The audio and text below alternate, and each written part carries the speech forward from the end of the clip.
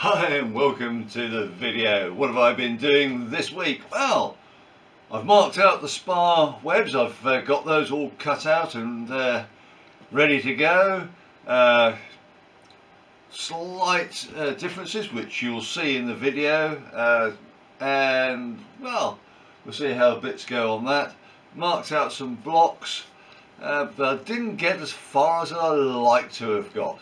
Part of the reason? Well uh, I've been flying. You've seen the video hopefully uh, on Saturday for the flying release as normal. Uh, weather wasn't perfect, but got to make the use of what we can when we can at this time of year. And uh, well, the sanding machine had a slight problem with the motor on that, so I haven't been able to finish off all the geodetic for the wing ribs. In point of fact, I haven't been able to finish off any of the geodetic for the wing ribs. So that's ready to go. And the third thing that's sort of holding me up a bit of course is uh, still waiting for glue. But I've still got lots of little bits and pieces to muck around with in the meantime. So let's have a look and see what I've been up to. Come on then. Hi and welcome to the channel. In these videos I show my build of a Fisher Youngster biplane kit. And it's not meant to be instructional, but it's meant for you to have a bit of entertainment seeing how I go about building this aircraft and hopefully get a few hints and tips that might help you out to build your own aircraft. Let's face it, if I can do it, you can do it. So here I am marking out the upper wing spar web. Drawn a little line here, effectively half the uh, the rib width out.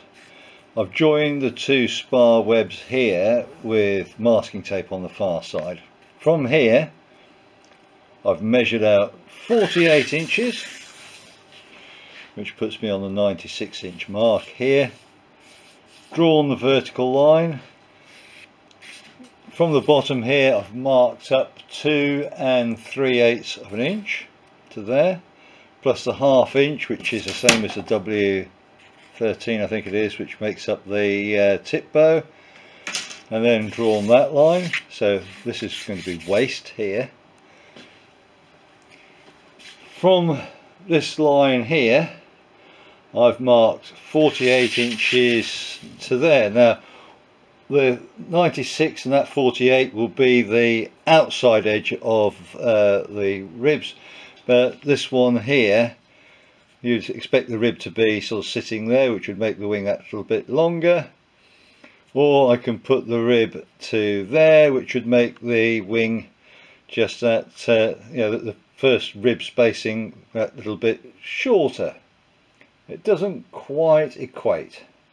So I'm going to go so that's going to be the outside. I'm going to increase the wingspan of the aircraft by a whole quarter of an inch Hey ho, there we go. How about that? There, that'll be cut with a craft knife and the excess will be kept because that'll be really handy for other little bits on the spar.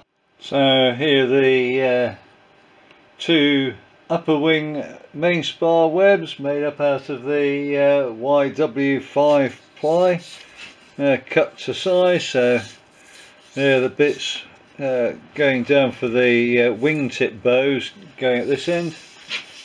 All marked off. You of see here I've uh, put the allowance on for the rib. So that's how much the top wing each top wing is going to be extended by. I'll do the same for the lower wing. And these have been cut here. Uh, so this angle is uh, 89 degrees for the dihedral. Here are all four spar webs and marked up down the bottom end here. So the uh, lower webs have been cut with an angle of 87 degrees uh, to allow for the dihedral. So I'm just uh, cutting the blocks for the uh, wing root mounting blocks. I'll show you where they go in a moment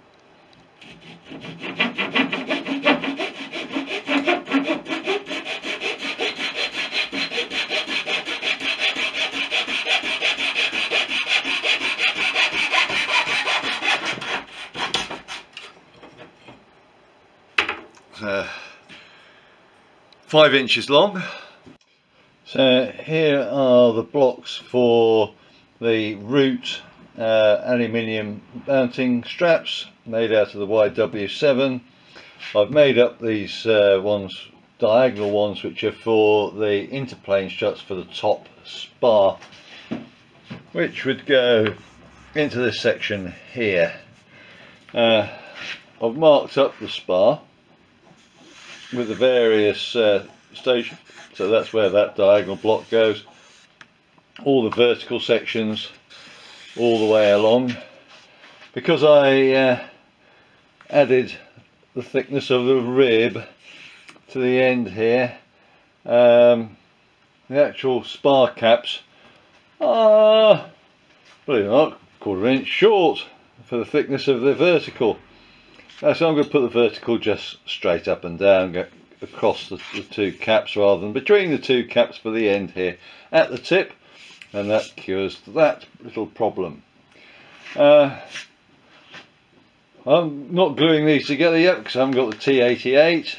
Uh, I have been asked a question by a couple of people, well, why don't you use uh, other glues?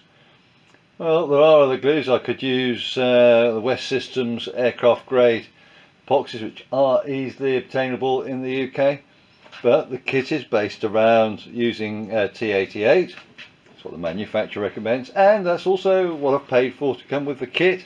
So uh, I'm going to wait.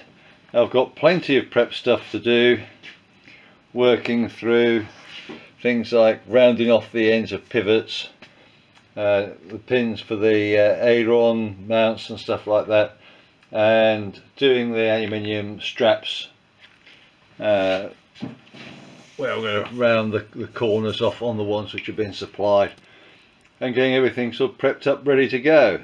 So it's not wasted time. Uh, when I do get started with the gluing it'll go really quick. Anyway catch you in the next episode. Bye now thank you for watching if you enjoyed the video please hit the thumbs up you can subscribe or even hit the little bell notification for future videos. Any comments would be appreciated and I'll try to get back to you as soon as I can. Remember, go fly and feel the sky.